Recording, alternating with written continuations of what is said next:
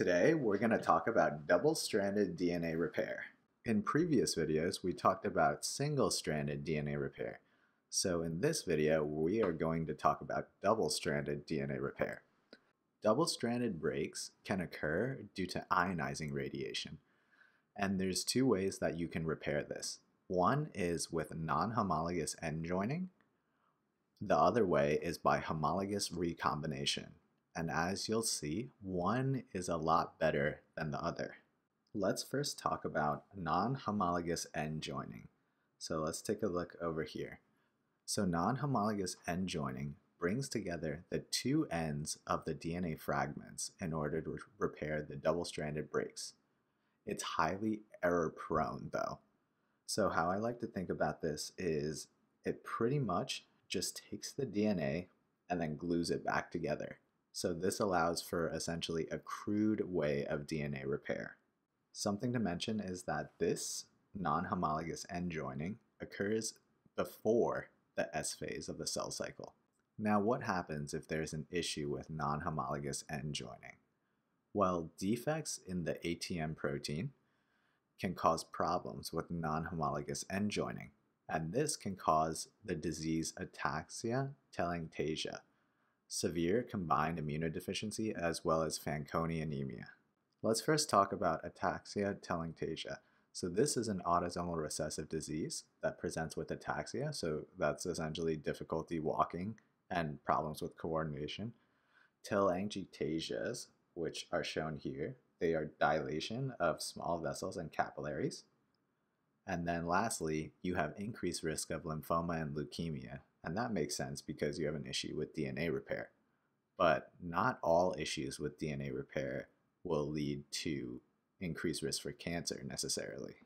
Now let's talk about SCID, which is severe combined immunodeficiency.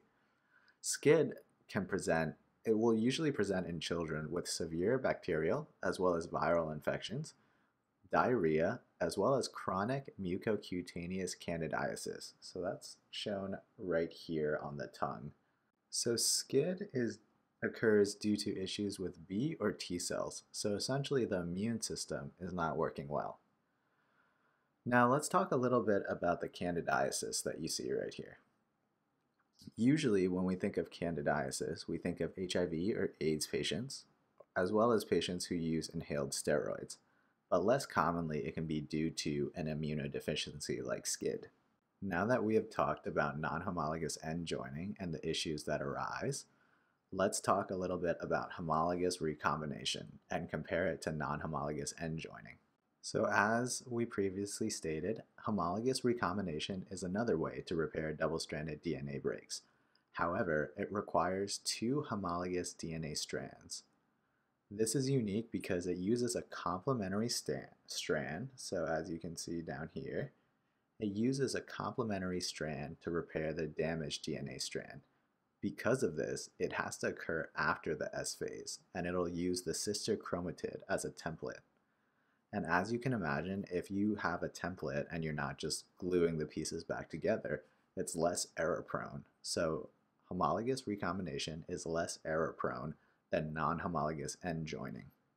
And I'm sure many of you guys have heard of the BRCA genes or BRCA genes. So those genes are tumor suppressor genes that are involved in homologous recombination. And defects in that can lead to breast and ovarian cancer. Now let's do a quick summary of this video.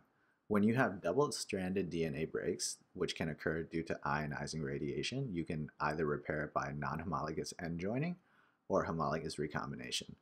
Non-homologous end joining essentially just sticks the two ends of the DNA fragments together, is highly error-prone, occurs before the S phase of the cell cycle, and then defects in that can cause certain diseases like ataxia telangiectasia, SCID, and Fanconi anemia. Now, homologous recombination is the other way to repair double-stranded DNA breaks. It's a little bit better. Um, it's less error-prone than non-homologous end joining, and it has to occur after the S phase using the sister chromatid as a template. Problems with homologous recombination due to issues with BRCA tumor suppressor genes can lead to breast and ovarian cancer. That pretty much sums it up for this video. Thank you for watching. I hope you found the video useful. If you did, please be sure to give it a like and subscribe if you want to see more videos like this.